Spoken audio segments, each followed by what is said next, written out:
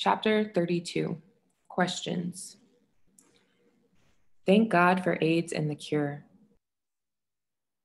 You say, I thank God for AIDS and the cure. Could you elaborate?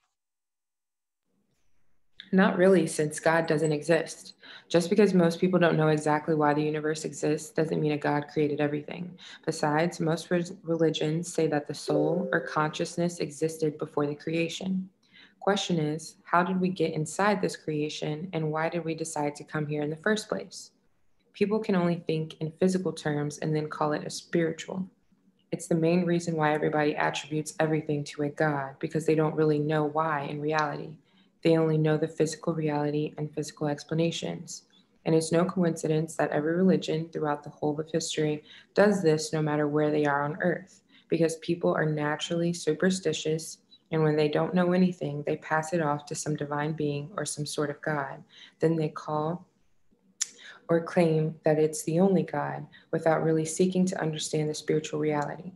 And when they don't understand and pass it off into a God,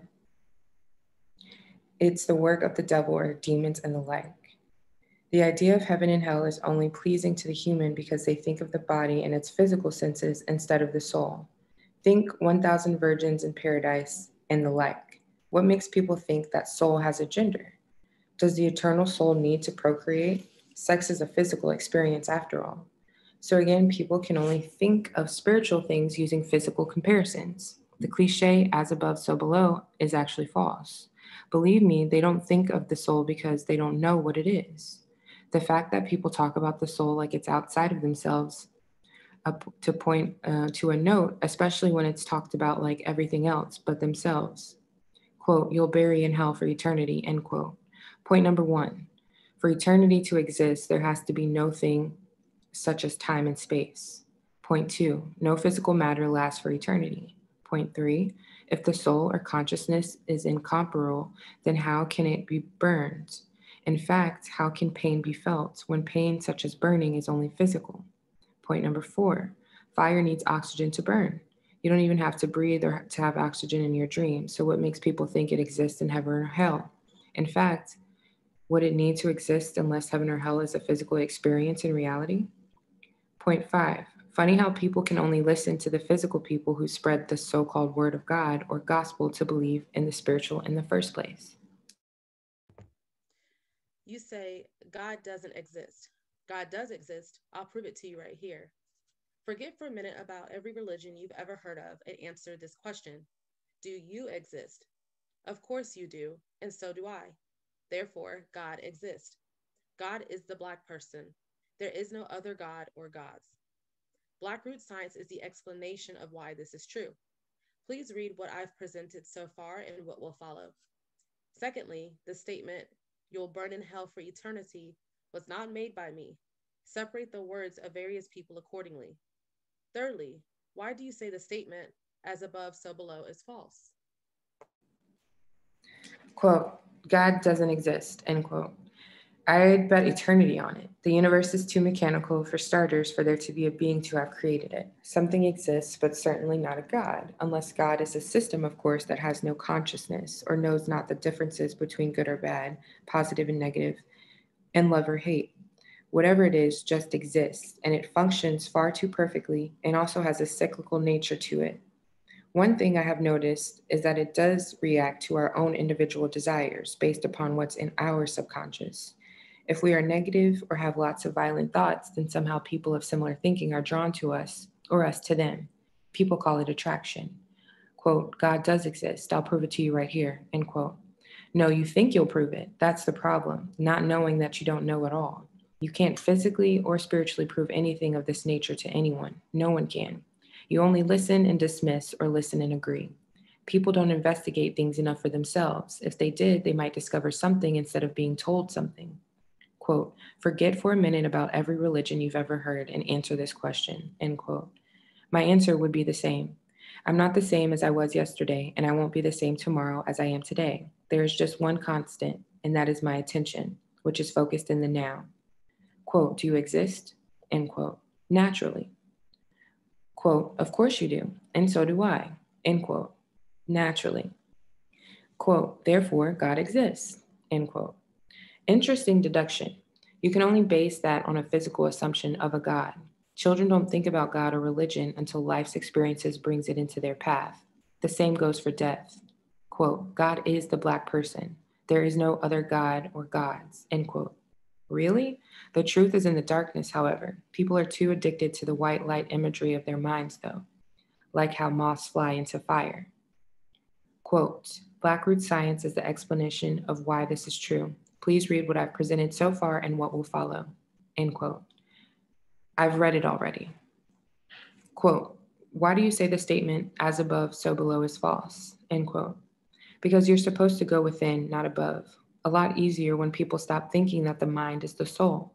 The mind is in control of the soul or consciousness, therefore, it gets led around a lot by the mind's constant thinking. It's supposed to be the other way around. People might stop talking about the soul as if it were an alien and separate from themselves. Then it's totally identified to being the mind, though. That's why people are repetitive and develop habits of thinking and acting and speaking. The mind is supposed to be a tool, not your slave master. Do people really choose to feel bad about something, even something they might see on TV, or are they running on automatic, i.e., the habitual way of behaving? Depression is only habitual negative thinking, and that illness has only increased since the world has become more of a depressing place. People don't shed a tear about the events in the world, but they will if they read a book or see a film. If your soul is your attention, which doesn't change as you grow older, what do you think you're going to think about other than what's in the content of your mind? Only what you have learned in life, of course. Only the contents of your minds and body change as we grow older. The soul doesn't need to change if it's immortal. It shouldn't need to. It just doesn't know itself, so it can only recognize what's in the mind, which could be any old belief or theory, to be frank about it, or any murderous or perverted feeling. The soul is totally absorbed in the mind. Frankly, at the moment, we're just going along for the ride, just like we are in a dream until we wake up. Until then, people are only as good or bad as what's in their subconscious minds controlling them. Sages have been saying, go within for eons, but people only thought they're talking about the mind. And things are so far gone now, it's all about the physical brain, which is a physical organ, which does nothing more other than to aid the mind and soul to express itself here in the flesh. Modern psychology is the worst religion on the planet. It limits people's scope of thinking. If the universe is too mechanical, why does that imply God didn't create it? It's like saying a car is too mechanical, therefore a man didn't create it. You say, quote unquote, something exists. I say not something, but you and me, or Black people. There is no one else at the beginning. You challenge the first statement leading to my proof by saying, I don't know that I don't know it all. This implies that you know that I don't know.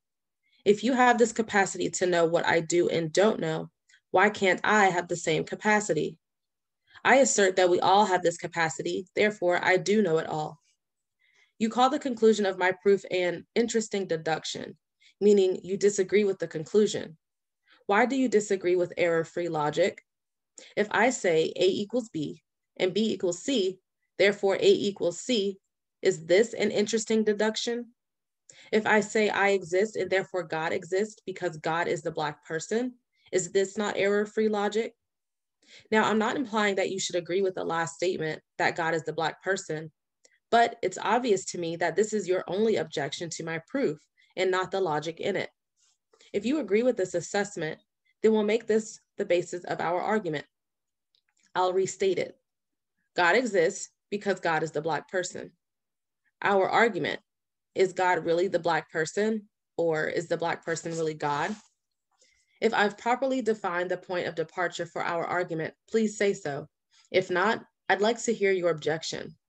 That should, I think, be the main focus of our discussion. The last issue, as above, so below, is secondary at this point, and I'll address it briefly, but would not dwell on it for now. You object to going above and would rather go within. What's wrong with doing both? I can go above to the stars, either physically in a craft or in my imagination, and I can also go within into my consciousness. What's wrong with going above and within if I can do both? And since my analysis of the universe depends on going above to compare it to what's below, then I choose the one over the other in this case. and the other over the first in appropriate circumstances.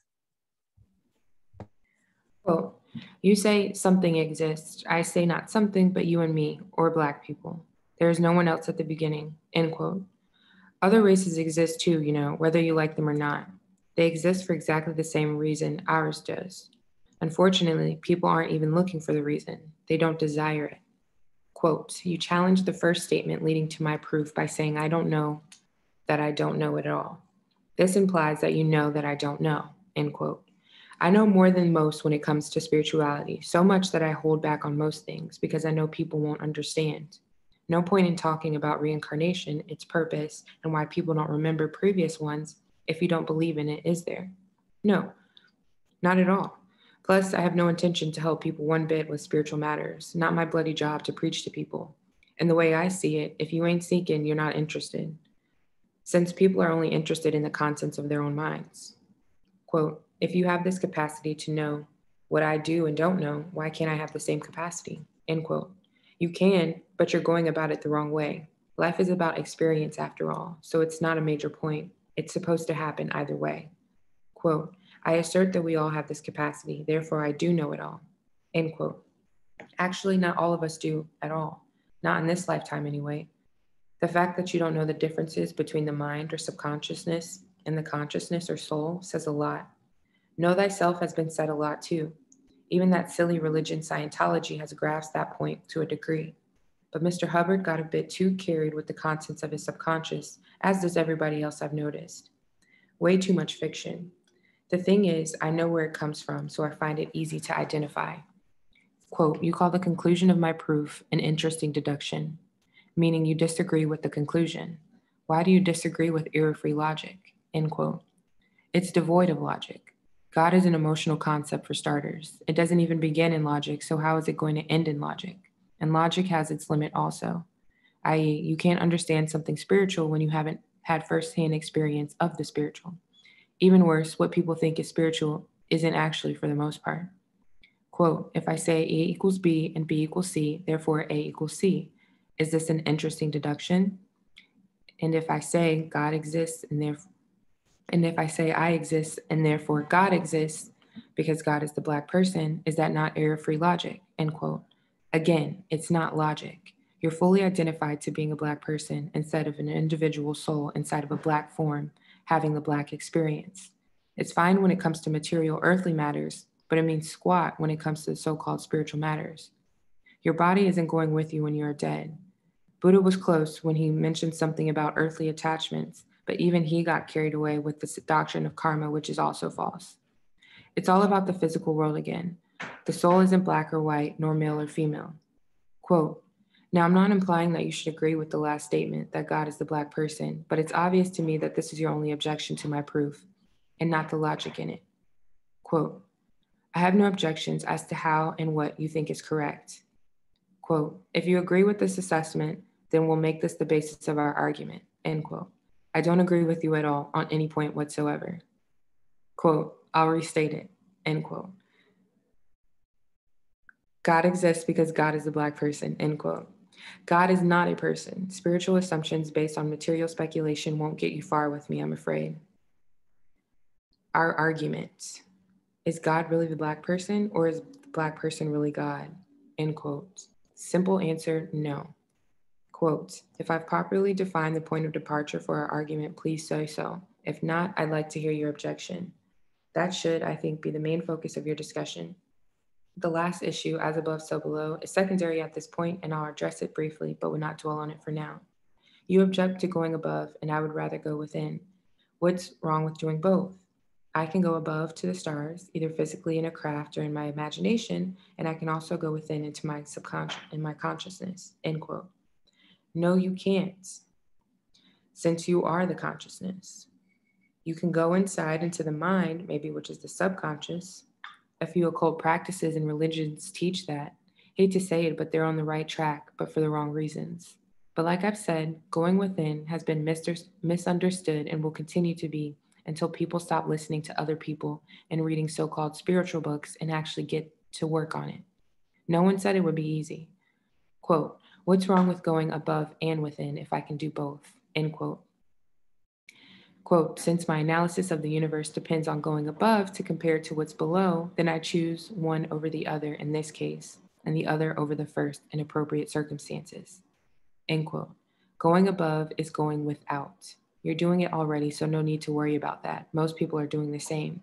Since that's where yours and everybody else's goal is, the things of the earth, you can come back to what you know, as they say.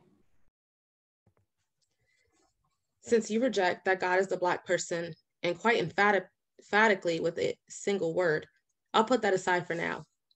I want to look at some of your statements concerning the races, the reason for their existence, the soul, consciousness, and so on. Obviously, the non Black races exist today. My statement is that they did not exist prior to some point in the past. You say they've existed at least as long as Black people have. Is that an accurate statement of your position? Then you say they exist for the same reason as Black people. What is that reason? Secondly, you say I can have the same capacity for knowledge that you have, but I go about it the wrong way. What is the right way? Third, you say the concept of God does not begin in logic, but is an emotional concept. My feeling for why you say this is that you recognize the emotional concept of God, but reject the logical truth of Him. My goal in my writings is to make it clear that all those interested that God is not an emotional fabrication of our desire, by our, I mean Black people. The God of religion is indeed an emotional fabrication of minds that are not anchored in remote ancestral history. Only by following ancestral history to the very beginning will we know the first God, the one and only. This is a logical and clear eyed process, not obscured by emotional immaturity. That is my way. It's a way taught to me by my ancestors and taught to them by the first gods at the beginning of the universe. Fourth, you say that I don't know the difference between the mind and the soul. Which statement in my writings caused you to come to this conclusion? Nonetheless, I'll define mind and soul. You say the mind is the subconscious and the soul is the consciousness. I differ. Consciousness and the subconscious are both the mind. One is unconscious or subconscious, and the other is conscious. By mind, I do not mean the process of thinking, but consciousness itself. Those two aspects mean the mind is divided into two. The first is the unconscious mind, which is unconscious memory, the origin of unconscious memory or the unconscious mind or subconscious mind is our ancestors. It comes as a gift from them, so it's called ancestral memory. This type of memory enters every child at conception and is completely settled in the depth of his or her mind by the time of birth. The second type of mind is the awareness with which I am aware right now, in the present. This is the conscious mind. This second type of mind forms what I'll call present derived memory, as opposed to ancestral memory. This memory is responsible for the formation of the individual's personality. Every person interprets life events differently. This interpretation colors the memory that results from these events. This coloring forms the individual's unique personality. This unique personality is the soul of the individual.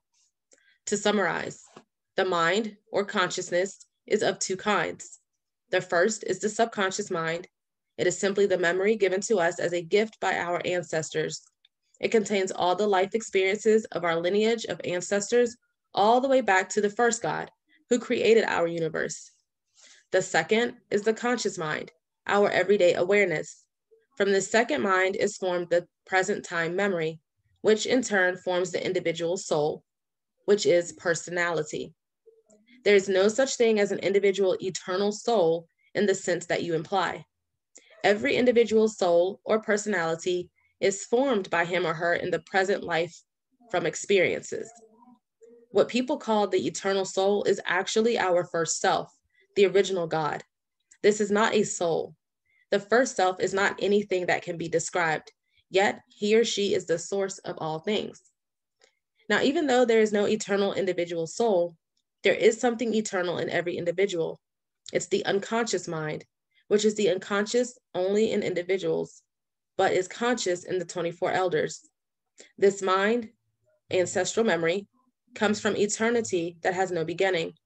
It's called the mind of God and lives in every Black person.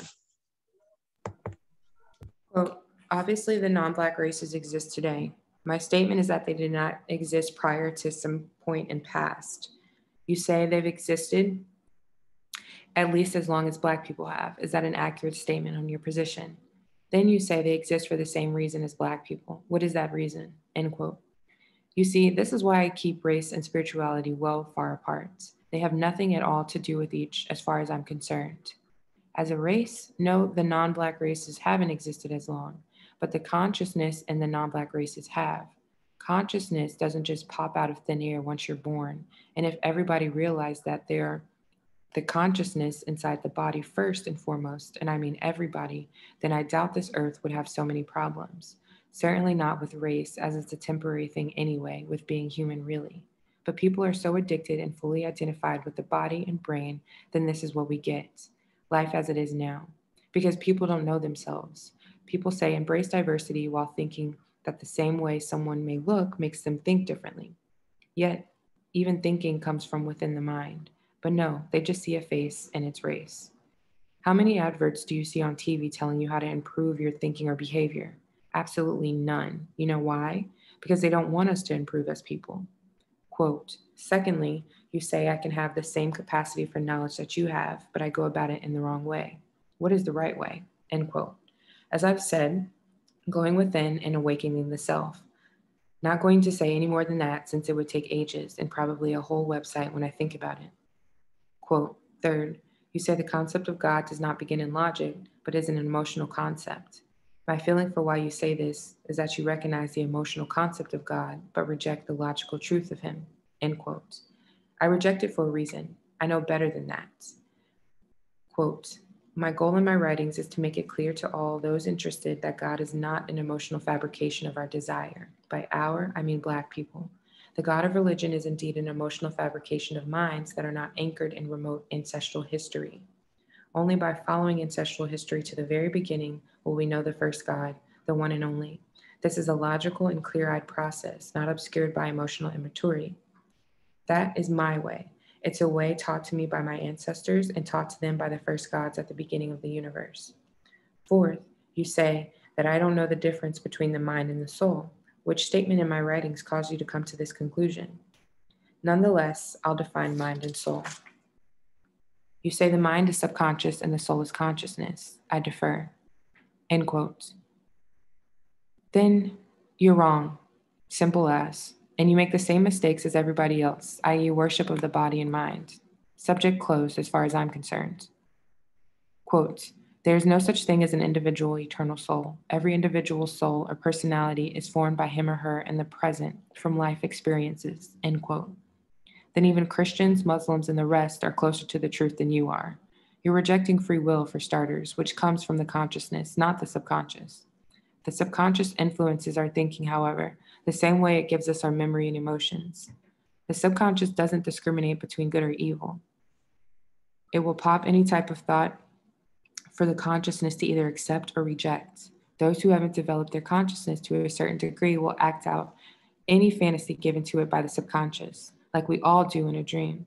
It's the same mind. So why isn't it doing it now? That's right. You think you're fully awake. Quote Now, even though there is no eternal individual soul, there is something eternal in every individual. It's the unconscious mind, which is unconscious only in individuals, but is conscious in the 24 elders. This mind or ancestral memory comes from eternity that has no beginning. It's called the mind of God and lives in every Black person. End quote. That is false. It's not eternal for starters very old, but very far from eternal. It's connected to the human mind and is sometimes called the collective unconscious.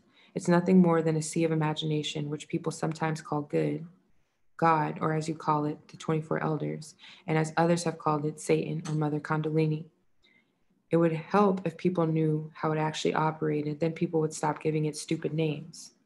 As you think it will give, and it operates on the individual's desire, rather than the desire, whether that desire is good or evil. And it won't help you either, certainly not with spiritual matters. It has a purpose and a function, which is to bring people the experiences they need and desire.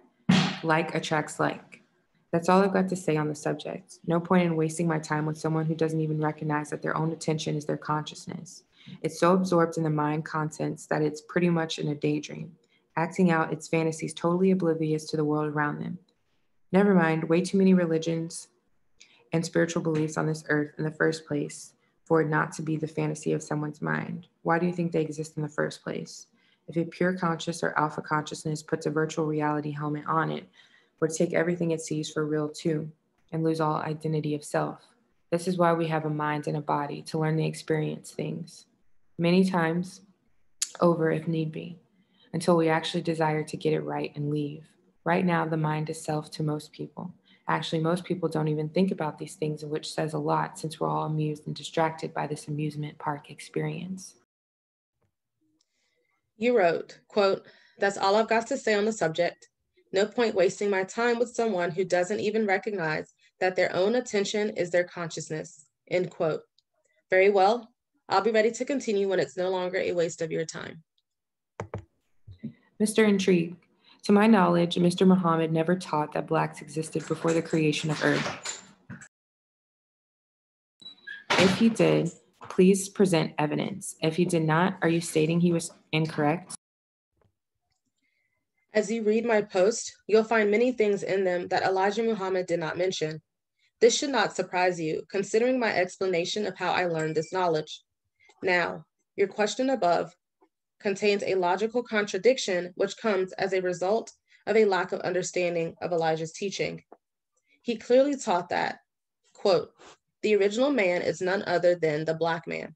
The black man and woman is the first and last creator and owner of the universe, end quote. From Message to the Black Man, chapter 29.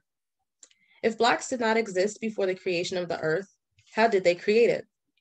You also ask, quote, why do I use Elijah's statements to support my own, end quote. The reason is because truth supports truth. I use statements from anyone and everyone that I judge to be true.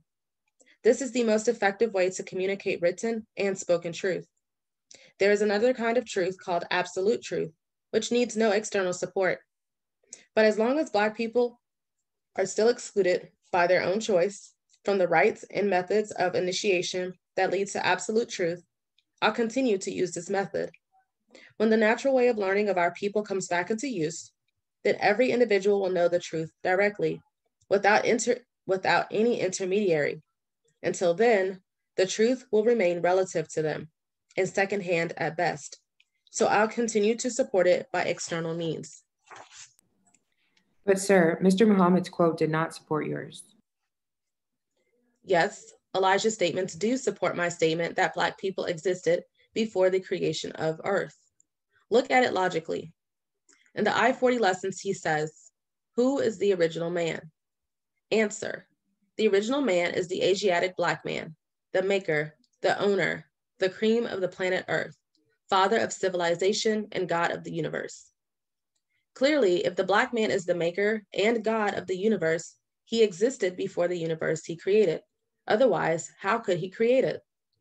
It seems that your objection is that other Black people did not exist before the creation of the earth, but only one Black man, Allah, existed. It seems you also think that this Black man, Allah, has existed continuously since the beginning and is the same today. This is a gross misunderstanding of who God is. Elijah made it clear that the 24 elders select one among them every 25,000 years. And this one is called God, Allah. He or she dies and descends after some time, and a new God, Allah, takes his or her place, and on and on. It has been going on since the creation of our universe.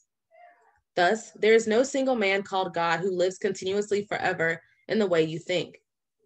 The question then is who is Allah? Clearly, he is a black man, as Elijah says. But which black man? And is it only one black man? Elijah answers this in the Theology of Time, Book 2, where he says, quote, Who is Allah? I am Allah. You are Allah. We are all Allah. End quote.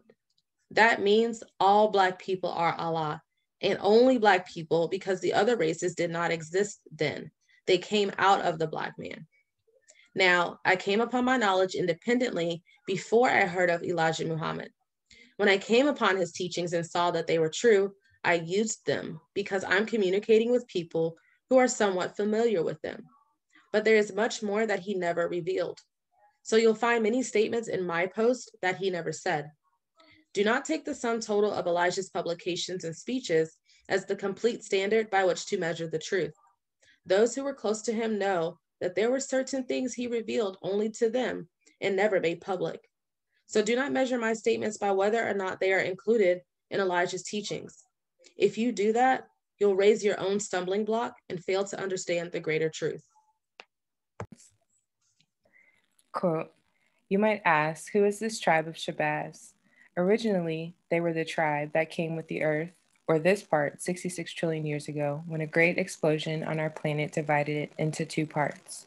One we call Earth and the other Moon. End quote. Excerpt of Message to the Black Man by Mr. Muhammad. If you are correct, this statement would be contradictory.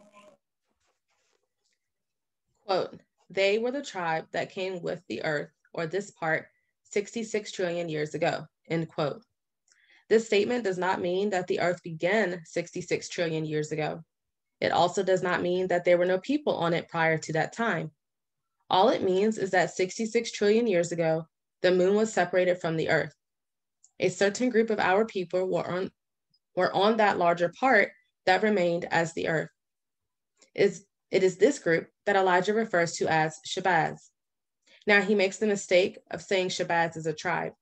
That is not so. The word Shabazz means nation, not tribe. The nation has 12 tribes.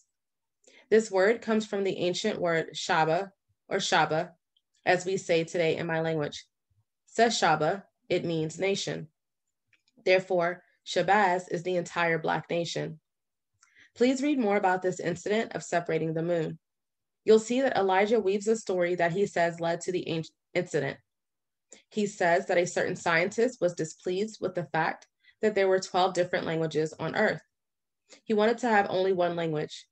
When he could not achieve this, he became angry and blew up the earth with a large bomb, causing part of it to separate and become the moon. This story is only a legend to illustrate the separation of the moon from the earth.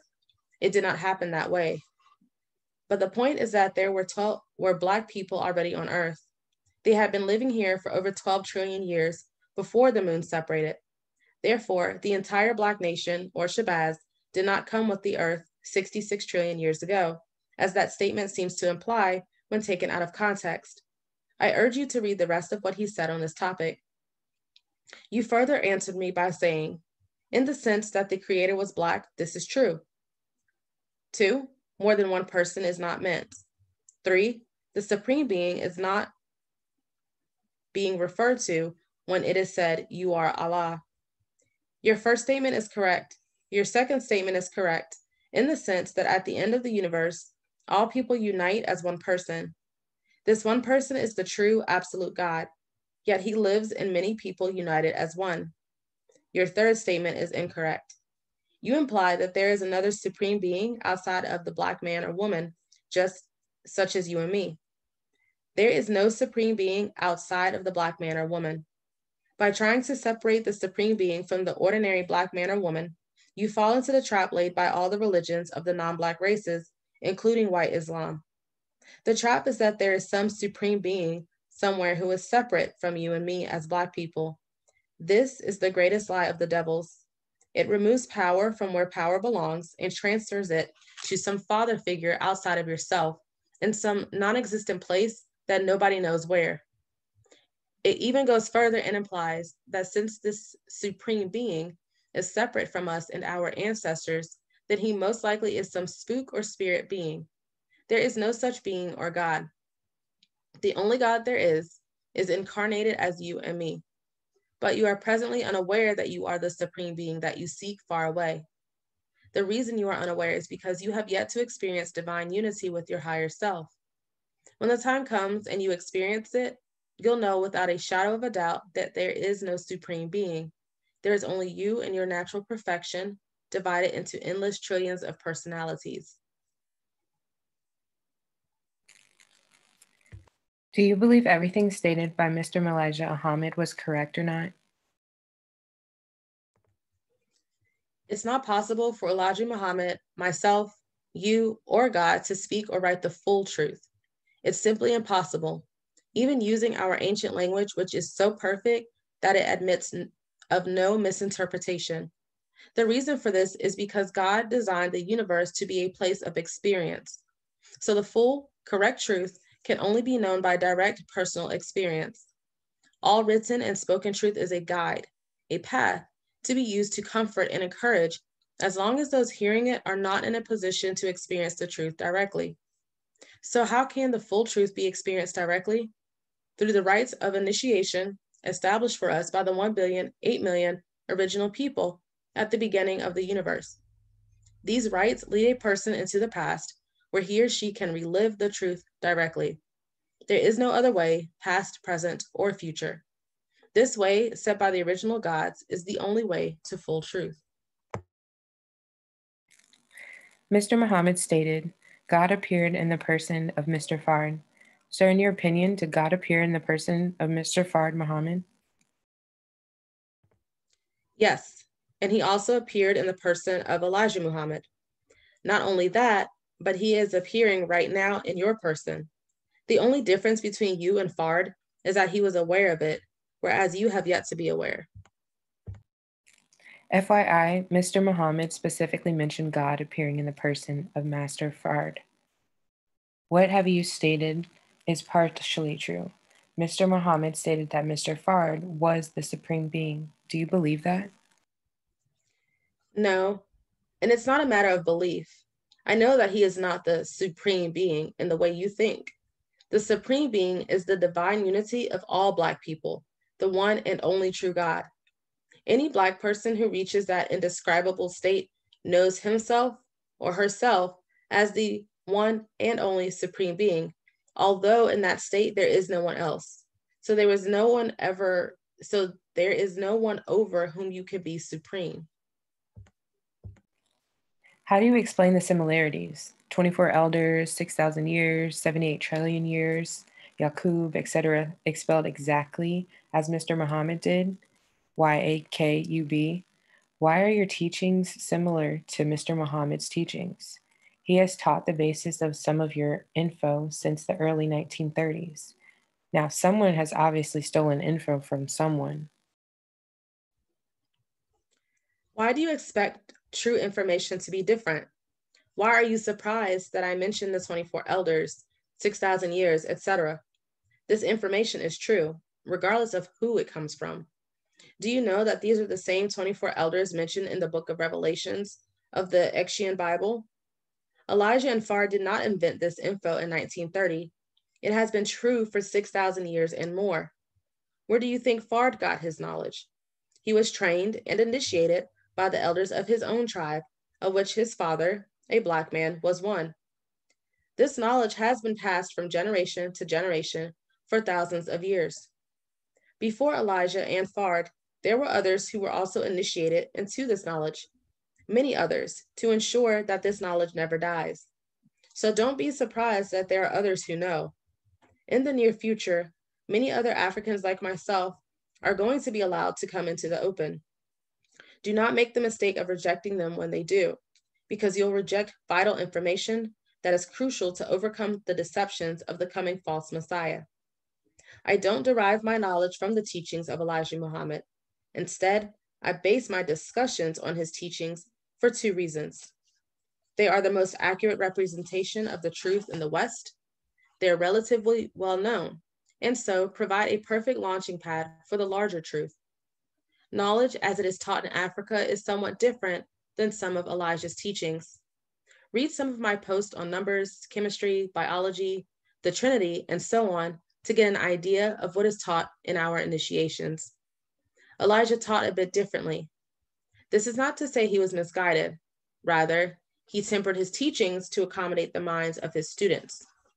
Today, many Black people are much more sophisticated in their thinking and can grasp the larger truth more so than was possible in Elijah's time, at least until the time of his death.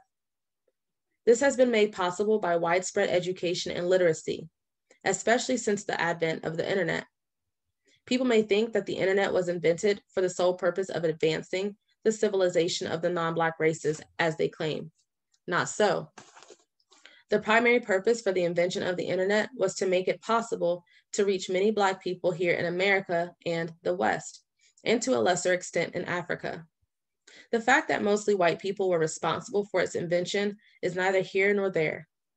Properly speaking, the singular most important idea that finally made it possible for the internet to take off had to do with large scale parallel processing of data, or so called supercomputing, and was invented by a Nigerian man.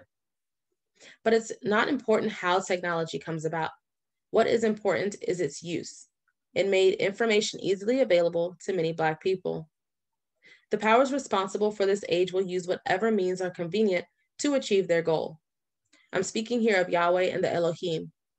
Their goal is to awaken Black people from 6,000 years of slumber.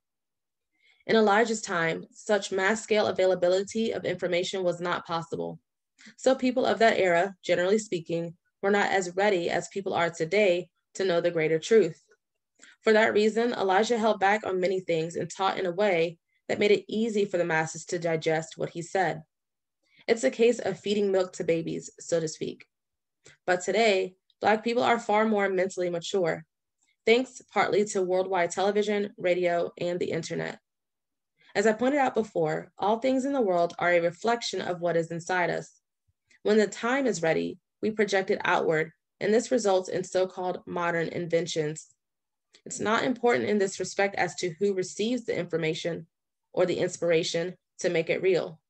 The result is the same namely, the expansion of the mind so people can understand the larger truth.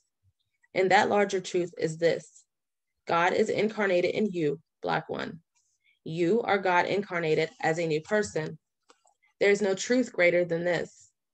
But Elijah could not teach this to the masses of his followers in the beginning because he was dealing with babes, as I said, who were hearing this for the first time. Them having not yet developed mental teeth, he cannot feed them meat but only milk. That's the reason he gave them a representation of God in the person of Fard Muhammad, his teacher. Who else to present as God than the man he revered the most? Now, this teaching is not a lie. Fard was conscious of his first self. Any person who comes into conscious contact with his or her first self cannot help but know that he or she is the incarnation of the one and only true God. But at the end of his life, Elijah began to suggest to them that the greater truth is greater than the person of Fard, and said most emphatically to them all, quote, you are Allah, end quote. About your other posts, the ones by Mr. True Islam. These are a mixture of truths and falsehoods. As they say, Elijah Muhammad would be turning in his grave if he could see some of these quotes you put here. They carelessly mix some of his true teachings with the falsehoods of white people. These lies, notably those about Shambhala, Shangri-La, Agartha, the Masters of Destiny, Dervish Order, Lords of Souls, Godmen, the Hierarchy, the Great White Brotherhood, the Hidden Directorate, the Golden Dawn, Brahmatma, the Tibetan lies coming from the monks, lamas, the Dalai Lama, the Goros or Gurus, the so called adepts, and on and on. All these falsehoods and deceptions come from the perverted imaginations of mainly two groups.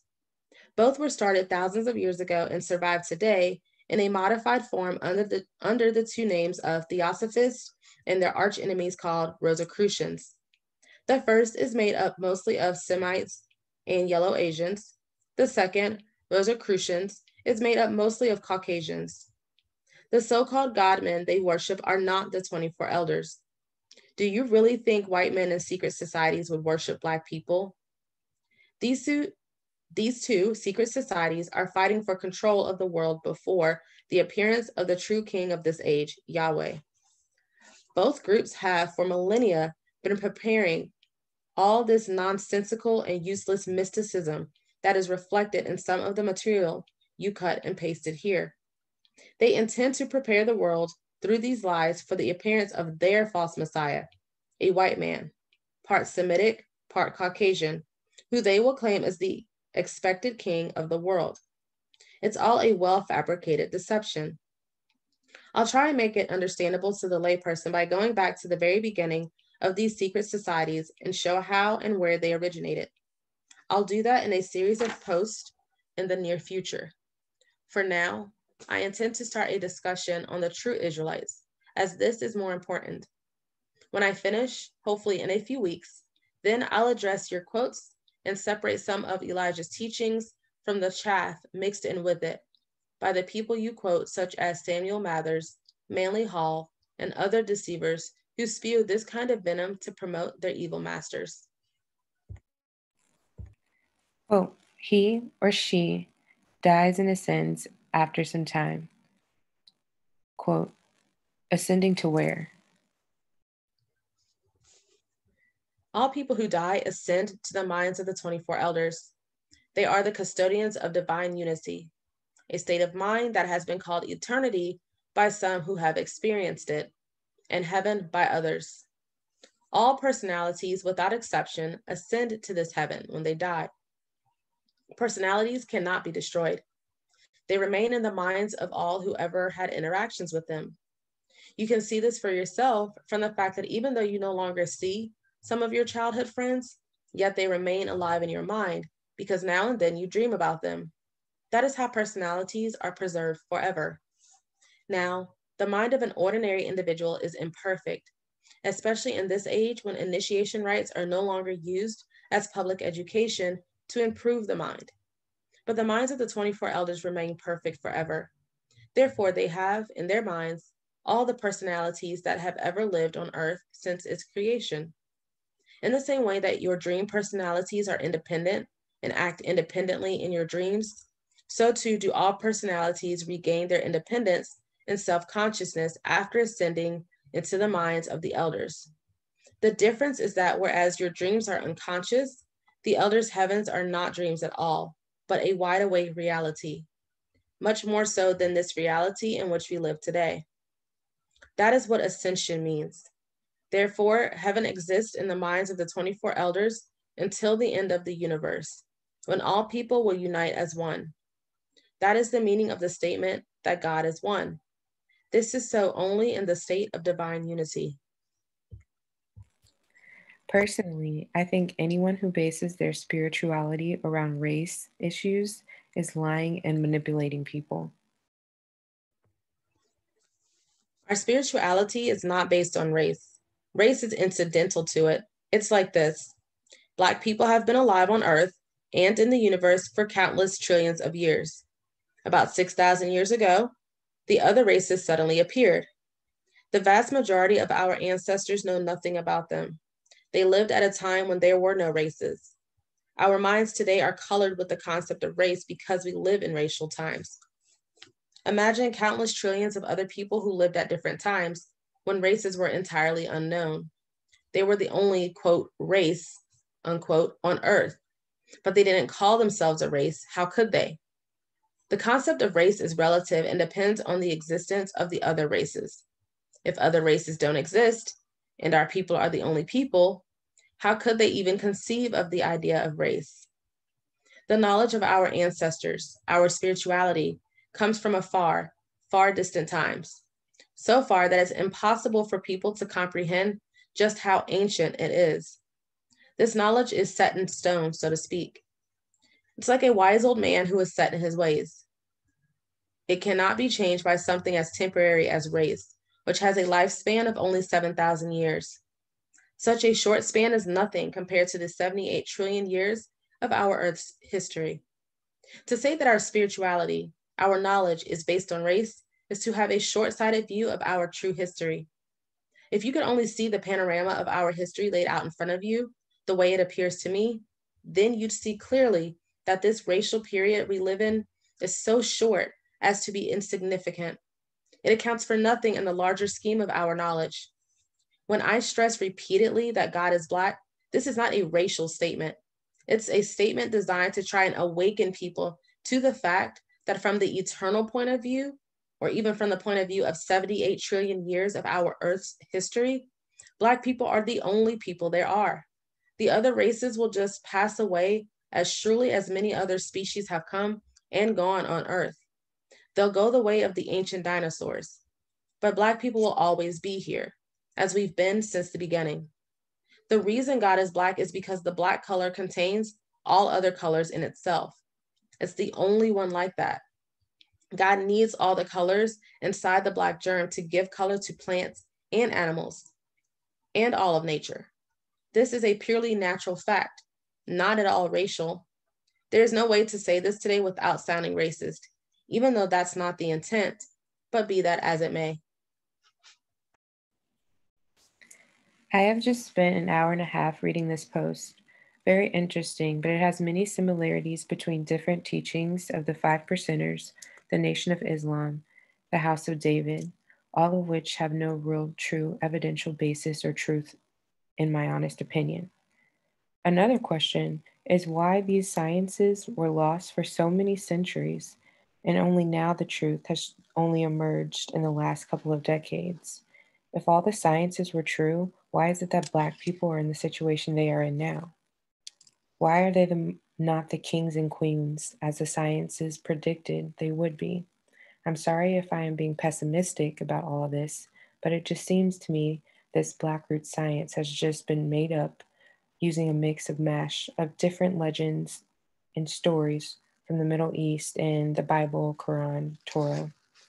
I just wonder why, if this was all true, would the non Black races be more populous than the Black race, as India and China already are two sixths of the world population?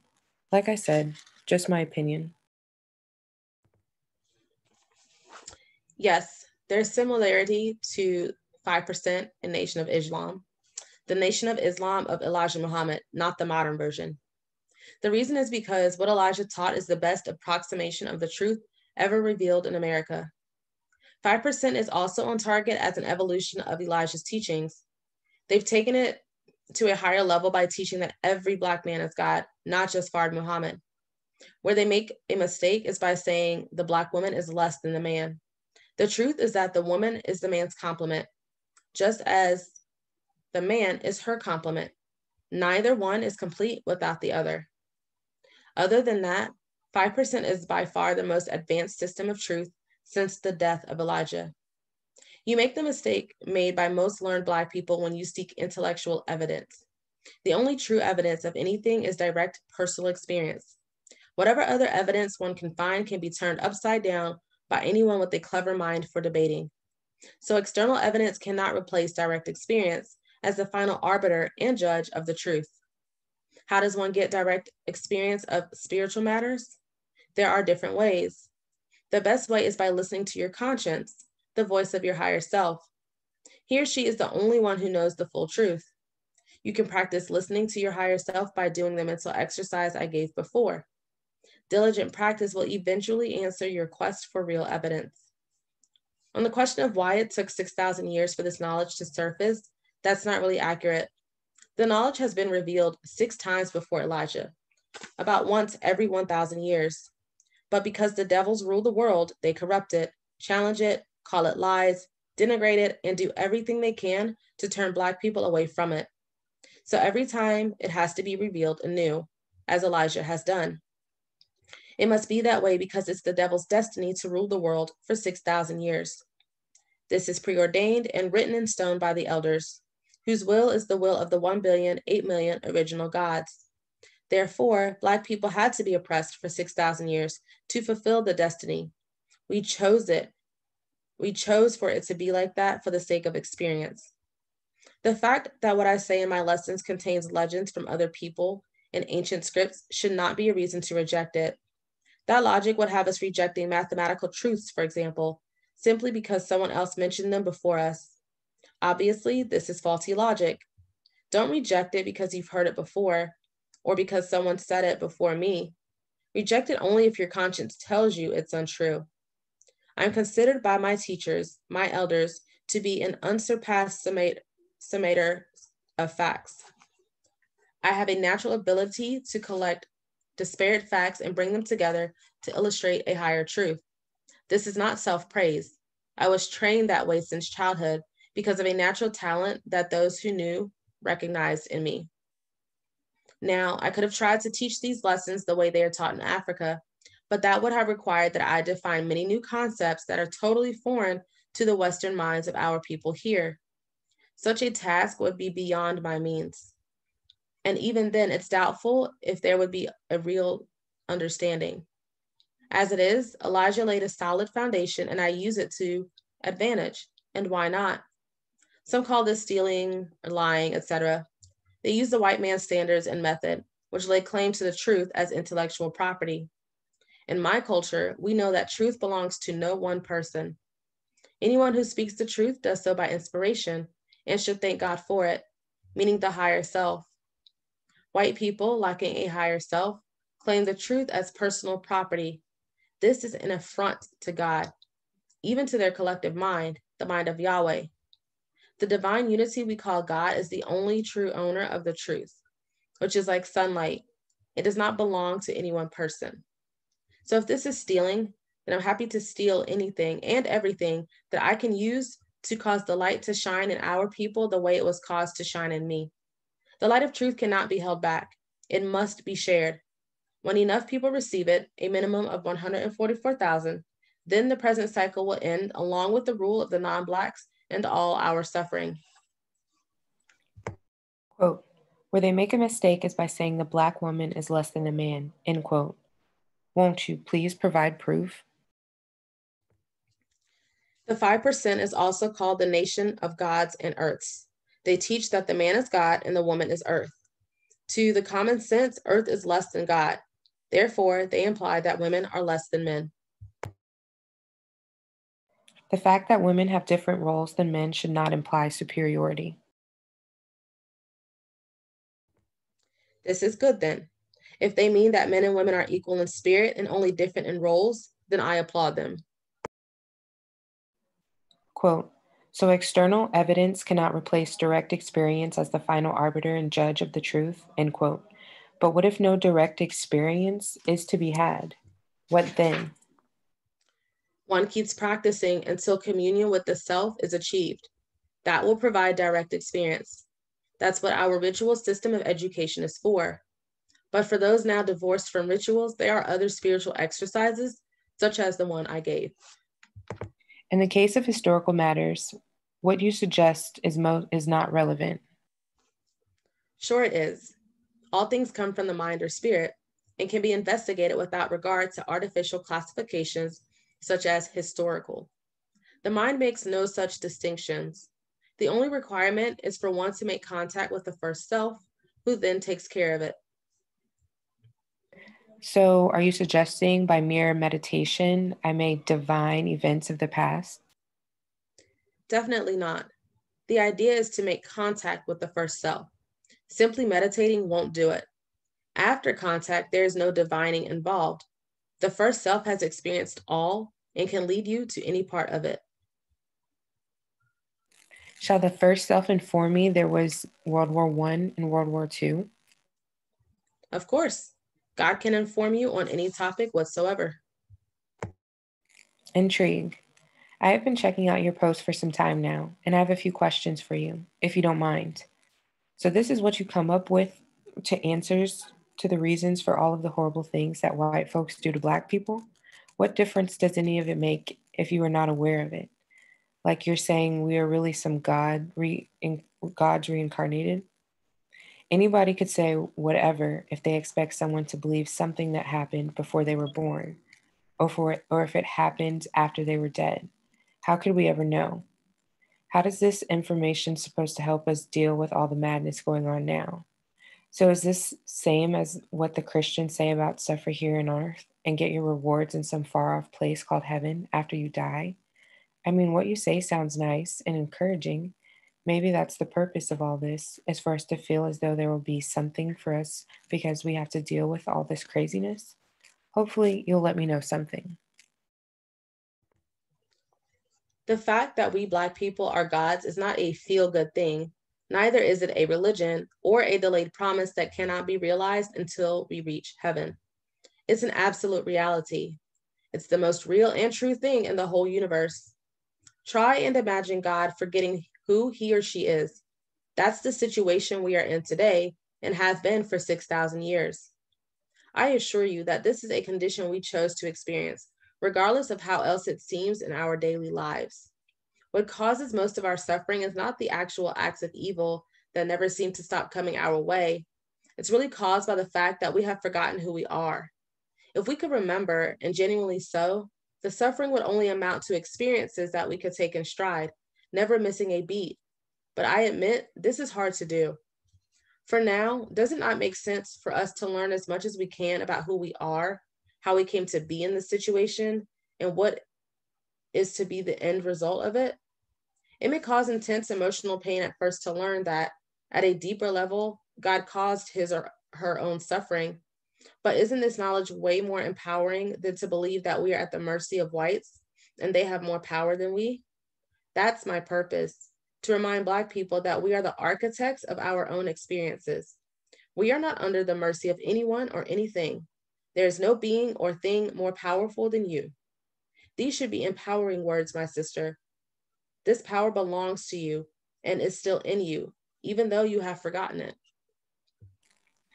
With regard to melanin and natural morality, many Blacks participate in this day and age in the West, perhaps other places, in many forms of immorality watching porn, adultery, lying, some sex activities, murder, stealing, etc., and are in possession of large quantities of melanin.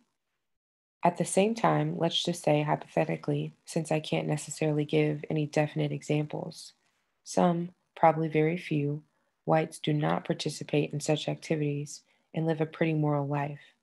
If whites are naturally evil because of the absence of the brown germ, which I believe is true by the way, what is the difference between blacks committing various perversions or so called sins, full behavior, and whites committing the same?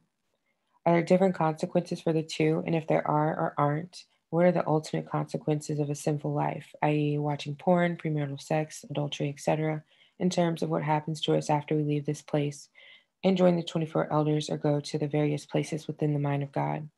Basically, to Black sinners, or participants in morality immorality go to hell with or without white people, or is hell just a myth? Will there be a judgment of the non believers? And what is a believer defined as? Please explain.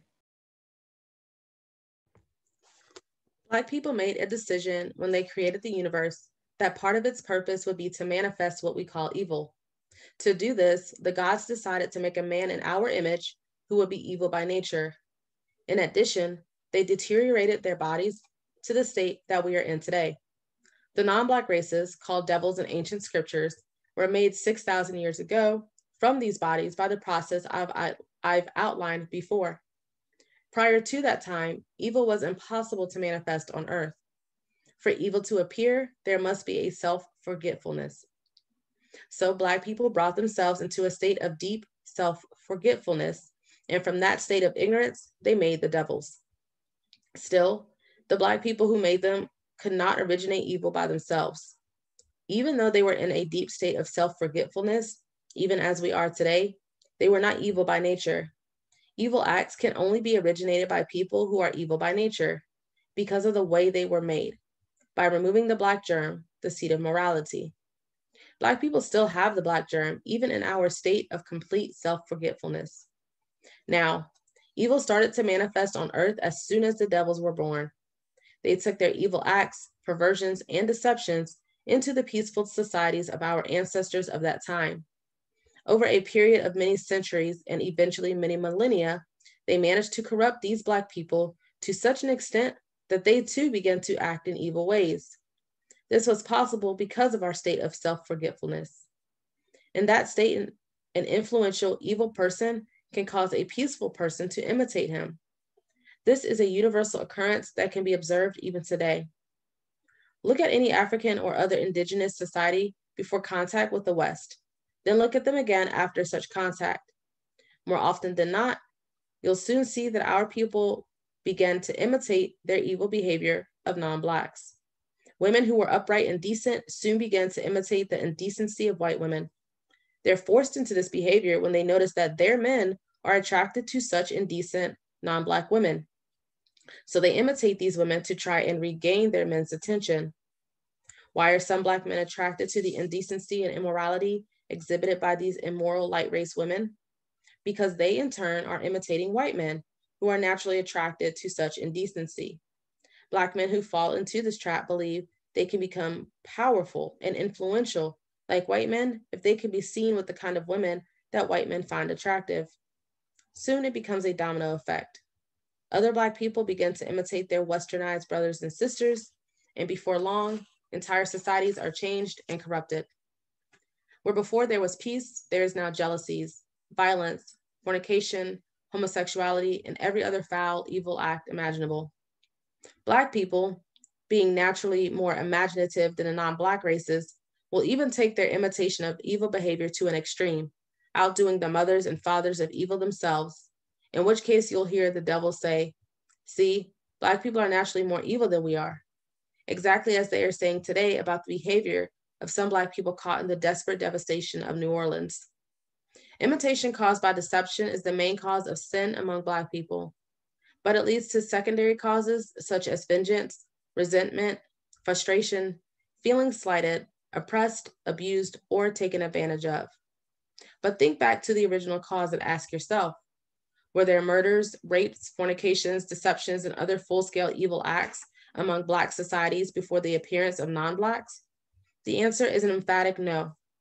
You can confirm this for yourself by reading the writings of the whites themselves. There are white and Arab travelers who have written about Black socialites, Black societies in Africa during the Middle Ages and before. They were all unfailingly impressed by the high morality of our ancestors. Some of them admit that after, only after contact with non Blacks, did Black societies lose their naturally high moral standards. So now here we are, 6,000 years later. We have arrived at a time when all evil that has been over that has overtaken the world must be reversed in order to restore nature's balance. This means the devils and their descendants must reverse the harm of every single evil act, or thought they've ever had in the last 6,000 years. The world will not regain its full and perfect balance until those who caused it through their actions and thoughts have corrected every single imbalance no matter how large or small. To properly correct anything, the only correct way is to go to the first cause. The punishment of evildoers is nature's job. Nature's laws are impersonal. Nature only looks at the first cause and goes directly to it. So the question becomes what is the cause of the evil acts performed by Black people? The undeniable, demonstrable, uh, demonstrable an easily verifiable fact is that Black people did not know evil until it was introduced to them by non Blacks. If a child imitates the evil acts of his or her parents, who is to blame? If the child gets into the habit of evil acts because of the imitation and grows into an adult evildoer, who is to blame? In both cases, the parents are to blame, even after he or she has become an adult. One may make a logical analysis and conclude that as an adult, he or she should know right from wrong. That's true, but easier said than done. It's difficult to reverse years of habitual behavior, especially if the habits were inculcated in childhood. Those are the hardest to erase, erase or correct, especially in non supportive communities such as today's. Now, I'm not implying that Black people are children. On the contrary, we are infinitely more ancient than the non Blacks but our state of self forgetfulness has put us in a vulnerable position as a people, where we are easily influenced by the appearance of false power. The devils, especially whites, appear to us to have a lot of power. The average Black person, mired as we are in lack of knowledge of self, is easily influenced by this apparent power. That's the reason why some so called progressive Blacks want to assimilate and integrate with their very enemies. They're blinded by the false artificial power wielded by whites. As far as nature is concerned, temporary artificial causes of such evil, such as imitation, do not count. Nature strips all false appearances and facades and goes straight to the roots. And she says, Who caused the imbalance in me? The devils did. So I'll punish and remove them, and that will be that. Nature cannot be distracted by any detours, deceptions, logical explanations, or machinations of any kind that try to make her look away from first causes. She looks straight at it and removes it without hesitation or regret. So, the ultimate answer to your question of whether Black people will be punished for their sins by being sent to hell is simply no. The great judge will simply overlook them in her direct march to the cause of their behavior, which is cl- as clear to her as the sun shines. In Yahweh's heavens, such punishment is self imposed as part of a natural law. People there will be in a state of mind where nothing can be hidden. All their intentions and those of their forefathers will be clearly visible to everyone. Their evil natures will be totally exposed. Their natures will compel them to, to place themselves in the appropriate sections of heaven. Some of these sections are occupied by such foul and debased people, they are called hell. As I mentioned before, the heavens of Yahweh range from the lowest and most foul to the highest and most glorious. The hellish conditions in the lowest of these heavens are so severe that most of the inhabitants have very little chance of accepting salvation and everlasting life. Many of them will perish and die in the second and final death, from which there is no resurrection. Please think about these words, brother, and see whether or not there is truth in them that explains why some Black people cannot commit sins and why they cannot possibly be punished by being sent to hell along with the rest of the wise and fair judge who knows the true causes of all things. I want to ask you a few questions if that's cool. I was wondering about the white folks and their purpose. If their purpose is to show the evil side of God or the self forgetfulness, why do Black people need to be here? And how can Black people be self forgetful and not be evil as well, being that you use both, both words to mean the same thing? Are Black people evil in this cycle, being that they have self forgetfulness? I recall that you said that if someone was to dilute the Black race on purpose, that they shall be punished. And on another post, someone asked you if Blacks committing sinful acts will it be punished? And this is what you said quote, Please think about these words, brother, and see whether or not there is truth in them that explains why some Black people commit sins and why they cannot possibly be punished by being sent to hell along with the rest by the wise and fair judge who knows the true causes of all things. End quote. Is there a difference? If being evil is their nature, the whites, then how can they repent, being that this is the whole purpose of their creation? Is that not similar to a tiger apologizing for its stripes and blaming a lion for eating antelopes? Wouldn't that just be the way that they were made? Wouldn't it make more sense for the whites to live out their purpose and then it ends and they just disappear, being that you said that they were not here prior to 6,000 years ago? You make it seem as if white folks have a choice about their lack of morality, like they can change that they were born absent of the black germ. If it is true that white folks are here for the purpose in which you state, wouldn't that be enough needed to experience self forgetfulness? Once again, I don't understand why Black people have to be here and live in the same state that white folks are, in a state of self forgetfulness or evil, since we are the ones that created them. Why do we have to live among them? I hope these questions that I have asked make sense. It kind of sounds like I'm rambling, so I'll stop here and hope that you get what I'm asking. Thanks again.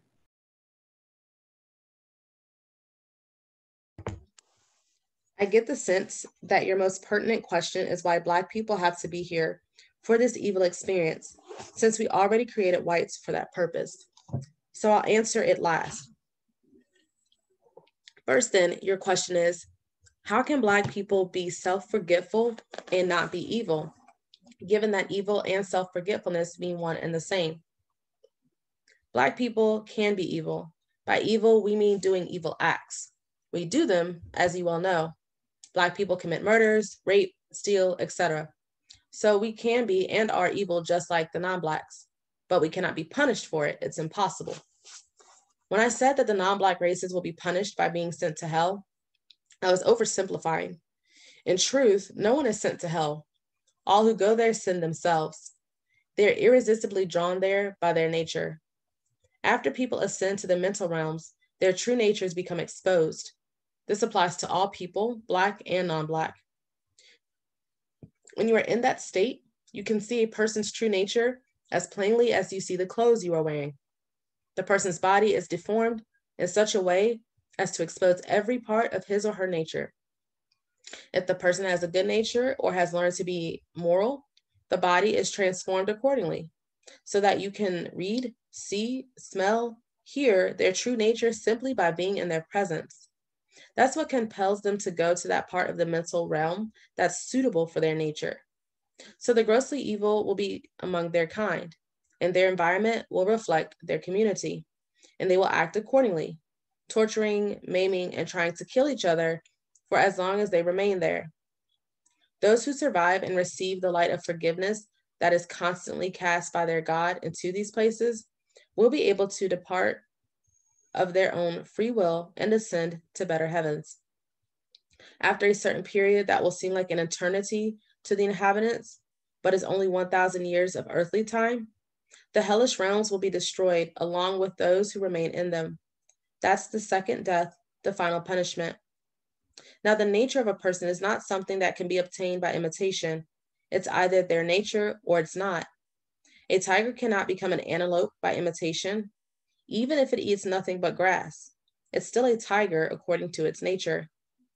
Similarly, Black people have become evil by 6,000 years worth of imitation, but that is not our true nature. As soon as the causes and conditions leading to such imitative behavior are removed, Black people return to their true nature, which is good.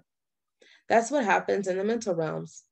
Not only are the physical circumstances leading to evil behavior removed, such as poverty, sickness, etc., but psychological factors are also removed, such as vengeance, being slighted, abused, exploited, oppressed, etc.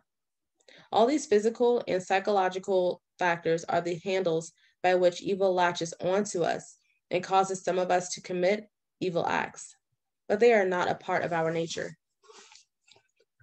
Study the old histories of our people, and you'll discover that our societies did not have these conditions, including physical ones such as poverty and most diseases. They were introduced into our community by, uh, by into our communities by outsiders. In heaven, where such conditions are absent, the causes of evil among Black people also become absent, and we revert back to our base nature, which is good. So we cannot be compelled to hellish realms by a nature that is not genuinely ours. The opposite is true for non Blacks. They also revert to their base nature, which is evil. But here is something interesting. Non Blacks, even though they are evil by nature, do not have to commit evil acts. Nothing compels them to commit these acts. This may sound like a contradiction, but remember, they are a free will people, not animals. Animals cannot resist their true nature but people can because they have willpower, which animals do not. Even so, the likelihood is that when given half a chance, they'll be evil rather than good, but they don't have to be. That's why there are whites that appear to be moral. They become so by learning the moral behavior of other people. Their second lesson in this was given to them ages ago by Moses, who taught them civility after they had forgotten Yahweh's first teachings. Since then, a small percentage of them have kept a reasonable modicum of civility and moral behavior and made it available to the rest of their races to copy. It's these non Blacks who will eventually accept the mercy of everlasting life and ascend to Yahweh's endless higher heavens. On the punishment of Black people who dilute our race by marrying non Blacks, their punishment will come in the form of them losing their lineage of descendants. There will come a time when such not there will come a time when such light skinned Blacks are no longer able to procreate, as will non Blacks. Black people will pride, Black people pride themselves in their descendants almost as much as some of us revere our ancestors. To have our line of descendants die out is punishment enough. They will certainly not be sent to hell.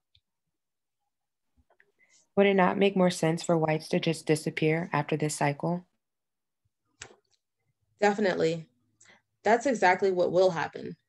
After this 7,000 year period, 6,000 years plus 1,000 years of peace, there will not be a single non Black left on earth. They will only live in Yahweh's mind, in his heavens. You never ever have to see them again. You are not a part of Yahweh's mind. You are your own God, one of the 1 billion, 8 million. You don't have to see Yahweh's creatures again if you don't want to, just as no one has to see your own creatures either of which you have many in that part of your mind reserved for them. Now, On to the important question of why are we here among the whites? The answer is simply to experience evil. We cannot experience it unless we are here physically. I have stated previously that all other experiences will become our experiences because of our coming divine unity with Yahweh and his soulmate. But that is divine experience. It's not the same as universal experience. The state of divine unity is impossible to describe. It's totally unlike anything known in the universe. It's as different as sound is different from color. Both realities, universal reality and divine reality, are necessary for God to complete the creation. So we are here to experience and witness self forgetfulness firsthand. There's no other way to gain the experience except by actually living it.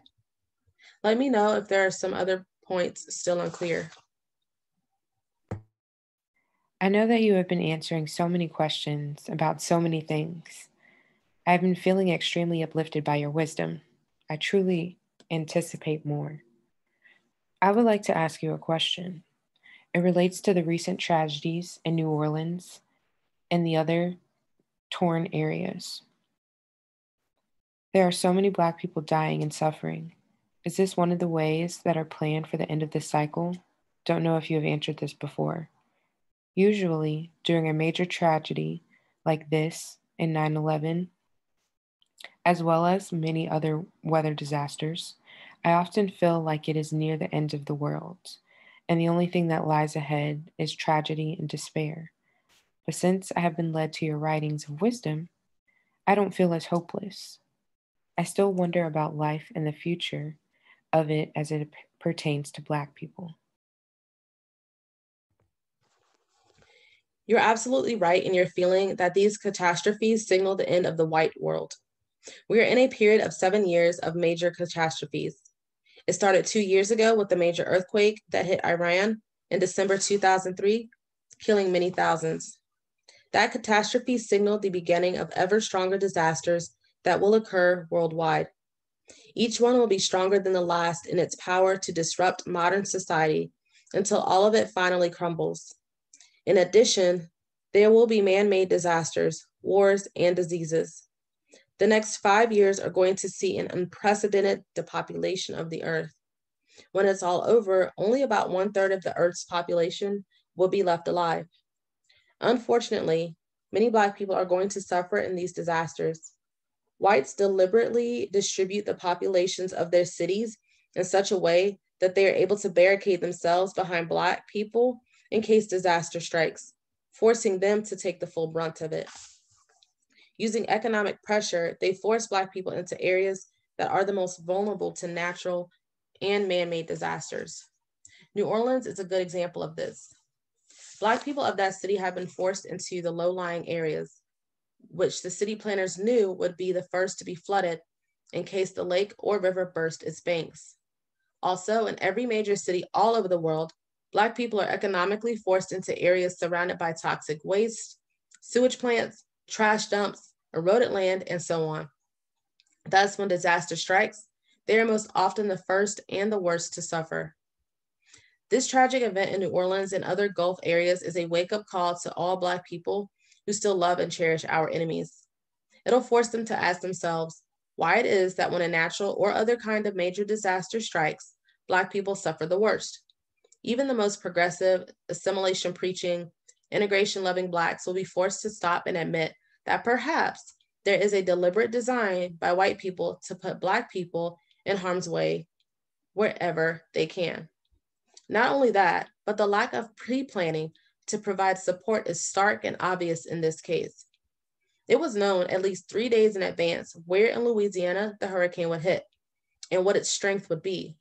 Engineers also calculated that there was a likelihood of over 75% that lake barriers and levees could not hold back the force of such a powerful hurricane. Yet there was no pre planning to have dozens of buses standing by ready to evacuate the poor residents who have no other means of transportation. If that city had been 67% white instead of Black, you know the planning would have been different. All this points to a lack of caring. Look how sluggish the reaction was. This clearly demonstrates these people have absolutely no love for Black people. Today, the hypocrites among them are screaming loud, criticizing as if they care and would have handled the situation better.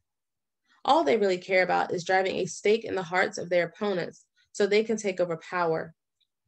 They have just as little concern for Black people. They're only interested in upsetting the present powers and taking over. Any person who, any Black person who still has love and sympathy for whites is now being forced to stop and reconsider, whether they like it or not. The true nature of these people is being revealed right before our eyes. Even the most blind and deceived among our people cannot help but rethink how the situation really is between us and them. There is a separation coming between us and them. Those among our people who have already seen the light know that such a separation is inevitable. Those who still stubbornly cling to them will be torn away by force of circumstances. Whites are trying to insulate themselves by placing Blacks in front of them as their shields. But sooner or later, the disasters will reach them and hit them the hardest. The king of the earth knows what he is doing. When it's all over, they'll all be down on their knees, trembling before his might and glory. Intrigue. What about biracial people? Are they considered Black? If so, how is it that it took so many generations to remove the Black germ, but only one generation to make it reappear? Also, here you said whites would have to intermarry and their descendants would have to do the same until they became Black. So, how could a child that has one Black parent and one white parent be Black?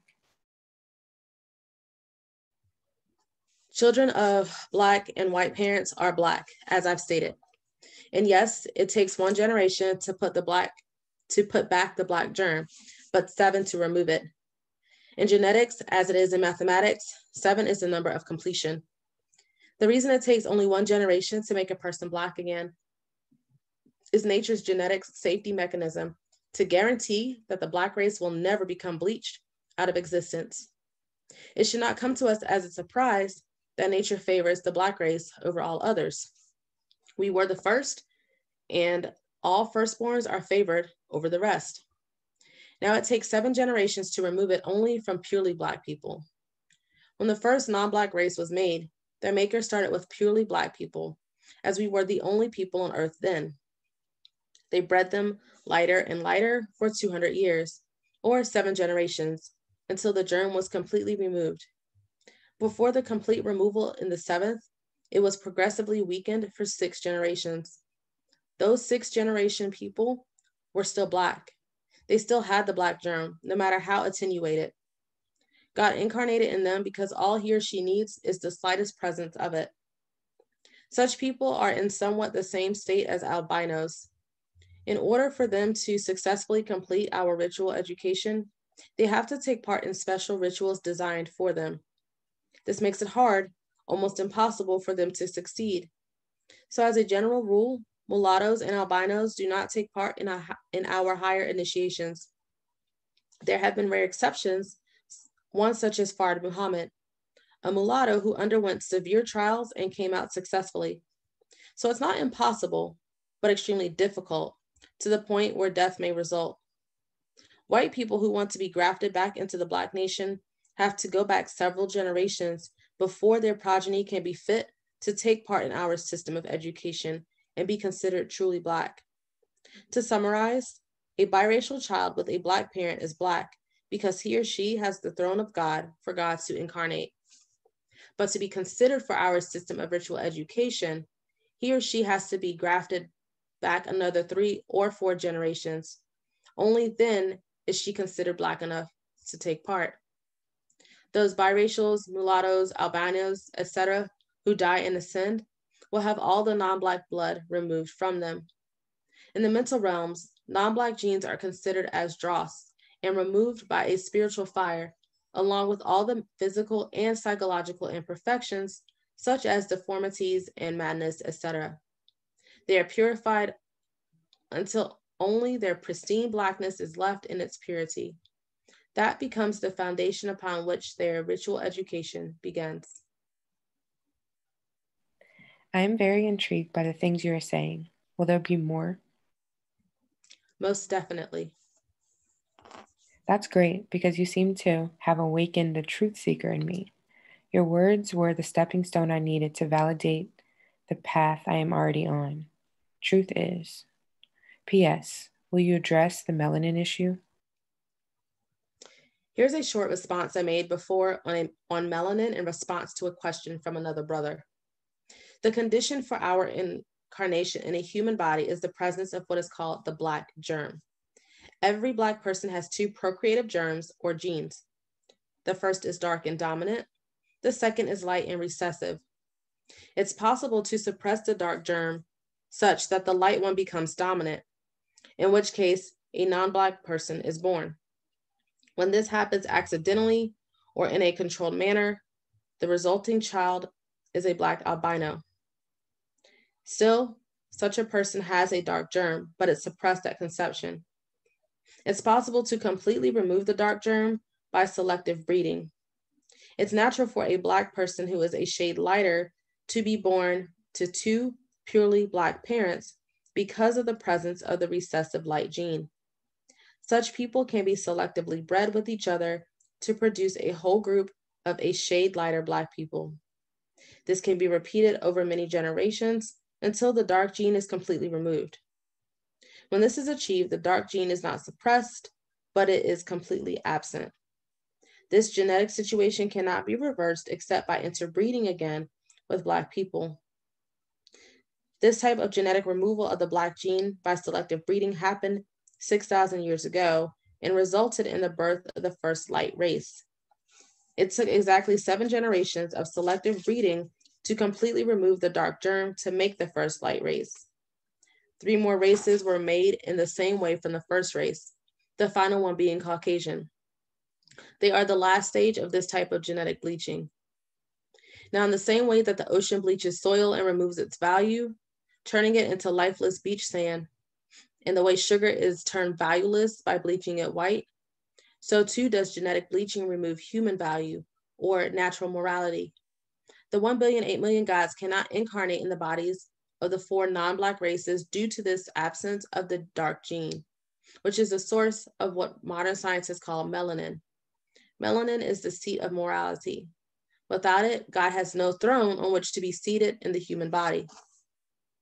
Whenever any person of the non-Black races interbreeds with a Black person, even a sixth generation melanin deficient Black, their child regains the seat of morality or melanin, and God can incarnate as ancestral memory in that child. That child is then called Black. If that child grows into adulthood and breeds with a non Black, he or she reaches the seventh stage of total melanin absence in the born child, and their child is non Black. That's how a Black person is defined genetically. Now, ancestral memory, on the other hand, does not follow biological lineage. It is not handed down from generation to generation. It's a gift of incarnation that enters the child's mind at conception. The gods choose where they incarnate and do not necessarily follow biological lineage. In other words, the original God, you, for example, can incarnate as a Black person in England. After that person dies, the same God can then incarnate into a newborn Black person in America who is biologically unrelated to the first. The British Black person who died is the true ancestor of the newborn American, even though they are biologically unrelated. Thus, all your true ancestors are the previous incarnations of the first self in you, going all the way back to the beginning of the universe. In the case of the non Black races, the incarnating ancestral memory only goes back 6,000 years because they did not exist as a people prior to then. The eternal gods cannot incarnate in them due to the absence of the seat of morality, which is the black germ. Intrigue. I'm finding all this deep black science very interesting. Where are your sources? Also, would you say that science today is backwards or slow? Science today is backwards in more ways than one. It's backward in the sense of slow, but more importantly, it's the opposite of true science in many ways. For, exa- for instance, the entire story of evolution of people from animals is the opposite of truth. So too are their teachings in many other disciplines. True science is taught in rituals designed for them, and is related to life. It cannot be learned intellectually as modern scientists try to do. It's a matter of direct experience, as is all true learning. We are taught that to know is to be. In other words, to truly know a thing is to be that thing.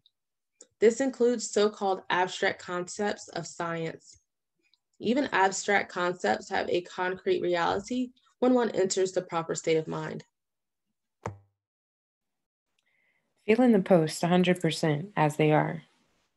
I was not at all surprised that women are chiefs. I was, however, surprised at the phrase, his wife, when they were each other's compliments, also surprised at God as he. God, or consciousness, created or became manifested she, and he therefore cannot have been exclusively he nor she. Otherwise, thank you for aiding us to remember ourselves. Incidentally, what of the Aset or Asar metamorphin in Blackroot science? Is it like the number 144? Also, what of the number 9, a secondary number?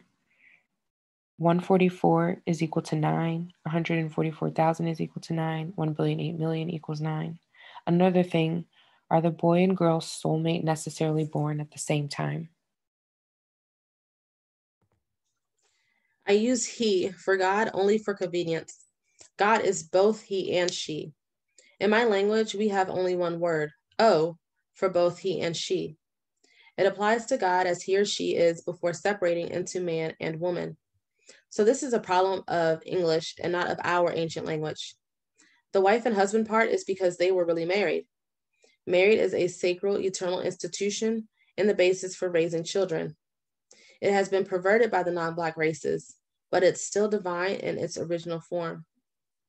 Soulmates are not born at exactly the same time. They can be born at about the same time, but mostly they're separated by a few years. Before separation, they exist in a state of divine unity where there is no time. So the few years of separation between their births appears only as a moment to the mate who was born later. The number nine is important in true astrology. Modern astrology is a false science because it takes the birth of a person as the basis for considering planetary alignments. In true astrology, only the alignment that occurs at conception is considered as influential. So nine becomes important as it takes nine months from conception to birth. Therefore, one has to calculate nine months back and study the constellation as it was at that time. But it's not one of the seven primary numbers. Those have to do only with the division of God from one to the multitudes of Black people in the earth. As for the legends of Asar and Aset, these and many other such legends are teaching aids they are mythologies used in mystery schools to teach about activities that took place 6,000 years ago that led to the appearance of the non Black races. I've just been reading some of your teachings on Destee, and after reading it, decided to go to your website to find out more. I have to tell you, I wanted to cry when I found out that the Messiah is a Black man with all his angels included. I immediately and felt imbued with renewed and increased strength in myself and pride in my people. It was like visiting the neighborhood I lived in as a child. It all makes so much perfect sense. It all falls into place so neatly. I was brought up a Catholic, and I always got the sense that I was hated ever since I was a little child by both clergy and laity alike, who were all white, or as you put it, non black whenever my family turned up for church, the resentment stirring within the congregational flock, just beneath the surface, was palpable, and I was extremely aware of what I recognized as a depressive, evil uneasiness inherent in the service. I left the church at the age of 15 against my father's wishes, but I refused to go anymore. I knew something was wrong. I did not feel right to me. I did not belong there. It was like I sensed a grain of truth in the message, but it was obscure and deformed and not meant for me. I have felt the same way with every denomination of the Christian faith that I have briefly adhered to. I felt like an outsider. But when I began to read your teachings, the nature and history of the universe, something jumped in me even before you discussed Black people's place in and outside of it. It was exciting to me and new, yet familiar. I have read about European secret societies such as the Rosicrucians, the Knights of Malta, etc., and I know that they are behind some, if not all, the atrocities that are occurring and have occurred in Africa, not to mention the theosophical influences of the European elite during the first half of the 20th century that led to a world war. What can I say? It makes all the sense in the world. My heart leaps when I think about it. The Messiah is Black, and not only that, but I, as a Black man, am a brother to him, literally. Please explain, please excuse my long email, but may I ask you a question? Some Black people at times have not behaved in a morally appropriate manner that benefits who or what it is they really are. Myself, I'm not only, I'm only just finding out. I never would have dared to believe that I am, or we all, Black people together, are God. As I have said, I have read what you posted thus far on Destee, and as I understand it, these Black people will be able to redeem themselves through initiation rites and once more achieve full God status or perfection. Am I correct? The reason I ask is you refer to the light skinned races as inherently evil or in a state of self forgetfulness. Black people can too, and do have, Black people can do and have done evil too. I just want to know what the difference is. Again, thank you for sharing your teachings and anything you can say to shed light on the questions that I just asked will be greatly appreciated. My apologies, brother, but can I ask a second question? If there are some among the non Black people of the earth that know the truth, wouldn't they be doing their utmost to ensure this information does not reach the ears and eyes of Black people? The thought of losing control would drive them insane if they're not already there already. They would do anything to prevent what you describe as having that to happen, including making the planet out of existence if all else failed. Wouldn't you be in some sort of danger? Or at the very least, wouldn't your information be in danger of being taken offline? Thank you. It's a great pleasure to meet you. I'll answer your second email first. There is indeed the danger you mentioned, and others as well that you can imagine. But it's like this their time is up. They were given 6,000 years to rule the earth. This ended in 1914. Then they were given 100 years of mercy to reform themselves. The vast majority of them have turned their back in pride. What has to happen will happen. There's nothing they can do to stop it. It's now way beyond their means to control it. Stopping me and others who are coming to teach along with me will not do it. The stage is already set and all the powerful players are in position. Now it's just a matter of time. About your first question of whether Black people are evil as well, since we too commit crimes, murders, and so on. I've been asked this question many times. I'll compile the answer that I gave before to others and send it to you. Hopefully, it'll clarify that. These Black people will be able to redeem themselves through initiation rites and once more achieve full God status or perfection. Am I correct? That's correct. Thank you for the clarification, brother. What have you you have said sounds very reasonable to me when I factor in my own personal, predominantly unpleasant experiences with these creatures. My whole life gives authority to what you've said in my mind. Compound that with the historical and contemporary facts of our collective experience, and your teachings resonate powerfully with a truth that's hard to objectively deny. Keep up the good work. Peace and good health to you. I know your time is precious and you are a busy man, but another question popped into my head while meditating on what I have to read, what I have read on your website so far. Perhaps I should wait a while for all the questions to form in my mind, then send them in one go. But again, that would use up some more of your time. Then again, I'll probably have some more questions after that. I am a full African ancestry. But what about when someone is of part African descent? I mean, you say Black people together are God. Is there a definition of what exactly constitute a Black person in terms of one's level of genetic mixing with the blood of the non-Black races? To make myself clearer, do mulattoes qualify as Black people, or because of their genetic contamination, which they considered, are they considered non-Black or the devils? Will they spend eternity working to better their moral character, if they so choose, but never achieving perfection, in the heavenly realms of Yahweh? Or are they destined for godhood like blacks? Or is it a matter of where their individual heads are at? Thank you for your time. Actually, reading some more of your site just now, I've come across the answer to my most recent questions about who is Black. If I have any more questions, I hope I can ask freely without taxing you too much. Feel free, my brother, to ask whenever you have a question. I'm glad you found the answer to your last one. Black Roots. I'm reading your updates at the Geosite site and a couple of questions for you. When you're paying homage, libation, etc. to the ancestors, you're actually summoning your own personalities, not separate beings. How could biological lineage not play a part in the reincarnation of the 1 billion 8 million? The child would have to be black, right? Is meditation useful to the one of the 1 billion 8 million in assessing their inner God and accessing their inner guide? Or is this a tool more useful for the non blacks? What tools are useful for the 1 billion 8 million stationed on this plane?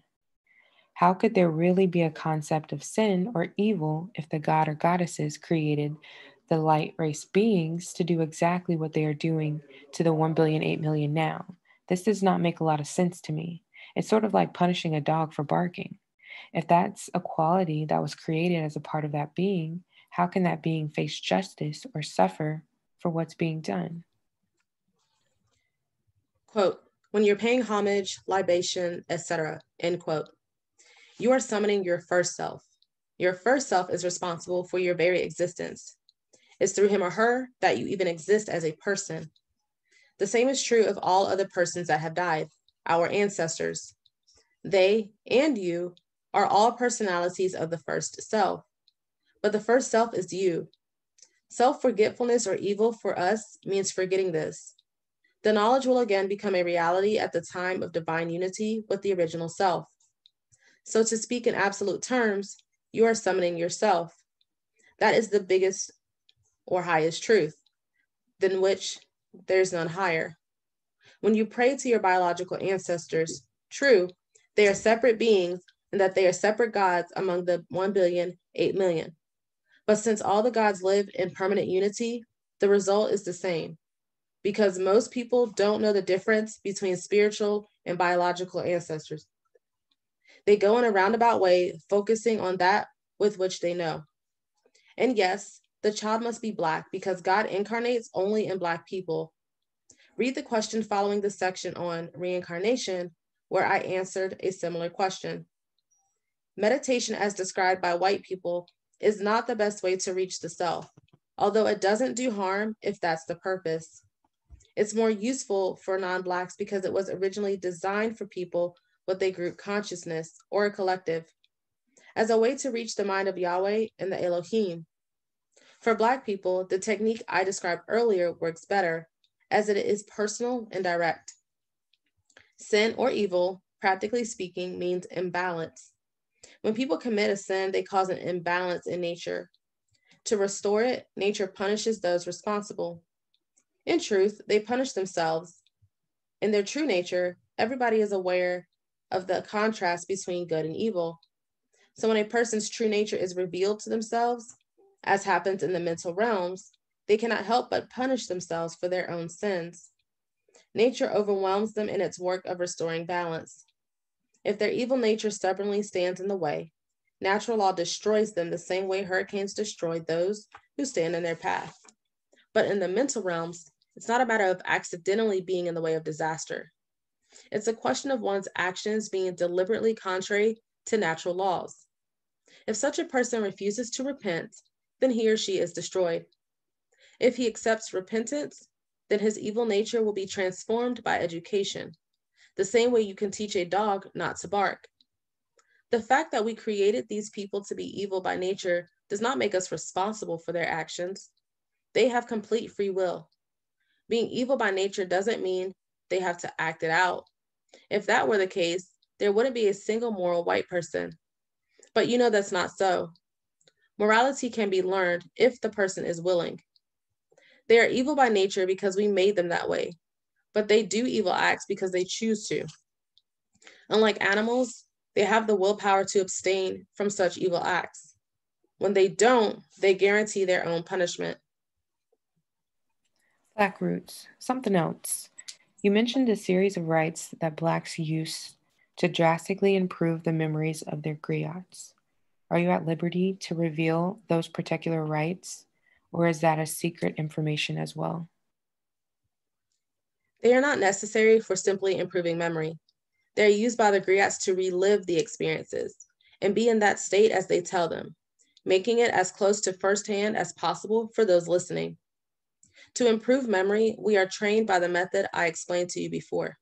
Try it. I finally finished reading Black Roots in its entirety. You have done a wonderful job in the simplification of these writings. It is indeed a gift to write about something so sacred, scientific, and expansive in truth while delivering it so clearly. Much of your information has served to verify a great many truths which I have been connecting the dots on. Thank you, my sister.